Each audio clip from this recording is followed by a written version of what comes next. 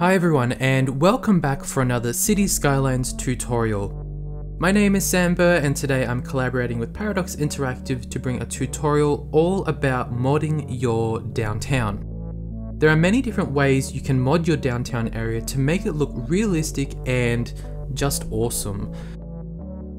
To build a great downtown area, I firstly recommend allocating a space as your city center like I've done here. This area will be the heart of your city, where it's the most busiest and full of shops, stalls, seating areas and gardens.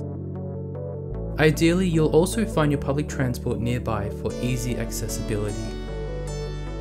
In terms of zoning, the downtown area, it is going to be loud and busy, so it's better to place mostly commercial and offices in this area, and put the residential a little further away from the noise. When you go into a downtown area, you will find small shop fronts basically wherever you go. So I recommend putting in lots of these in busy areas for easy shopping and to make it look lively. Something else I love doing and highly recommend is making a mixed use building which looks like this. Commonly in downtown areas, you'll see mixed use buildings which consist of commercial on the ground level and offices on top and you can actually make these.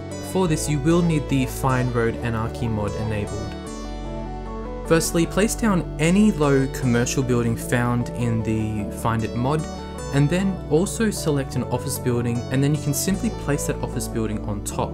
I also recommend making these buildings historical so they don't level up or down. These mixed use buildings, they really do look awesome and actually function whilst saving space and you can use this same technique to create larger buildings in general.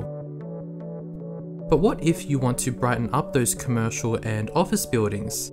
You can place billboards and basically any prop you want on any building. For this you will need the prop tree, anarchy and prop snapping mods enabled. So if we go into the find it mod and search billboards, you'll find several already in the game. To place them on a building, simply select a billboard, and then you can place it directly onto any building. You can place them literally anywhere on the building and place as many as you want. While on the topic of buildings, you should also take note of the spacing between buildings. In my opinion, a downtown looks most realistic when it consists of a good mixture of low, medium and high density buildings just so it doesn't look overcrowded. Alright, now that we have all of these people here, where do they park their car? Having street parking basically adds an extra element to your city and makes it look more alive.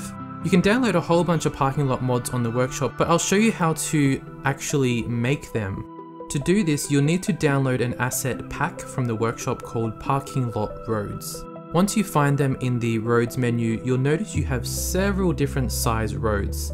Simply select the size and draw it out like a normal road. Next, you'll need to place down the actual parking row, but make sure they are aligned and place them on both sides. And that's basically all you have to do. After that, they'll automatically start using them. And lastly, since there is going to be a lot of people walking by, I'd recommend adding in many different walkways going in all directions and especially direct access routes to public space, public transport and tourist attractions, but also bridges going over the main roads and you could even try using pedestrian friendly roads. Okay everyone, that's all from me Sam Bur. Hopefully all of these tips have helped you create a lively and vibrant new downtown.